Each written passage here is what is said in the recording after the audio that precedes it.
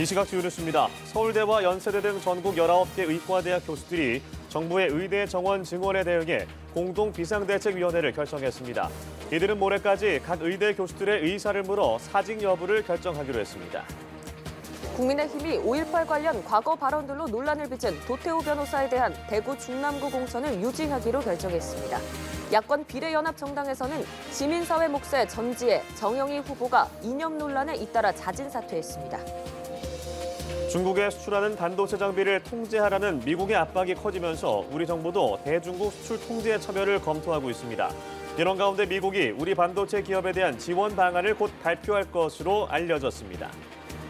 미국 S&P 500 지수가 1% 넘게 오르며 종가 기준 사상 최고 기록을 경신했습니다. 엔비디아가 7.16% 오르면서 지수 상승을 주도한 가운데 다우 지수와 나스닥 지수 역시 0.61%, 1.54% 상승으로 각각 거래를 마쳤습니다.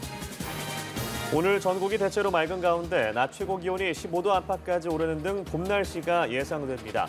다만 아침 기온은 영하권까지 머물면서 일교차가 큰 날씨를 보이겠습니다.